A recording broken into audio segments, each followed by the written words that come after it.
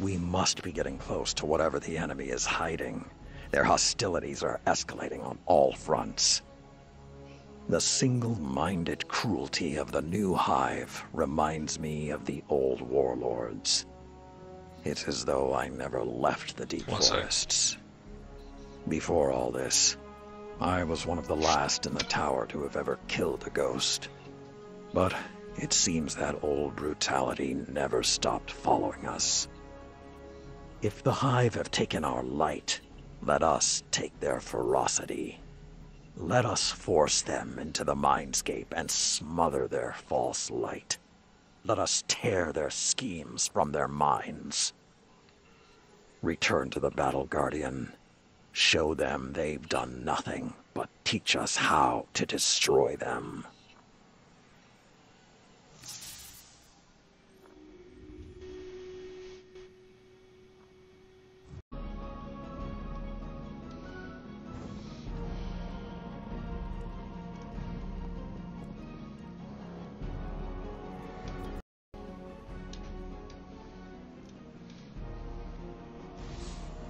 You have done well. The Hive are in disarray. I spoke to the Psion running the equipment while you were gone, the one Caiatl trusts above the others. I used words, while I allowed him to use telepathy. He hosted me in his mindscape. It was not what I had envisioned. A neutral place where we met as equals. He shared with me openly. He sees flashes of gray and red in the minds of the Hive. He interprets this as a vision. We will soon know where to attack.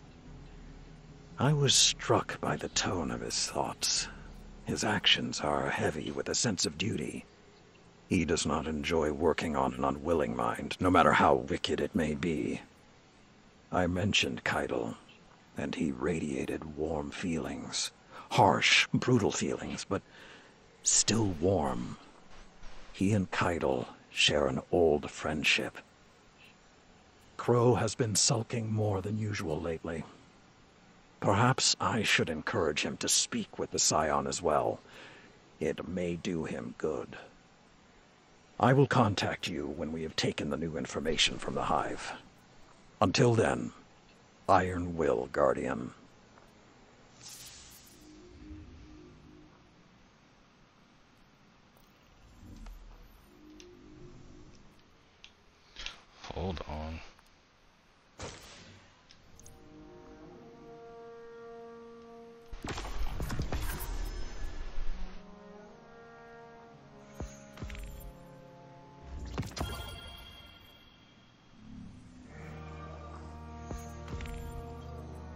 I didn't expect your people to deploy a cannon quite that large. I don't think the Hive did either. A cannon is unexceptional, no matter the size. But a guardian with the tusks to climb into one and fire themselves at a hive command ship? When death is no longer an obstacle, it becomes a remarkable teacher. Lessons learned in your crucible. And the Iron Banner. Lord Saladin is very proud. He may not appreciate the comparison, but he thinks like a Primus. Empress, I know this is a sensitive topic, but how long do you believe your forces can commit to a sustained war against our enemies? Until the last of us draws their final breath.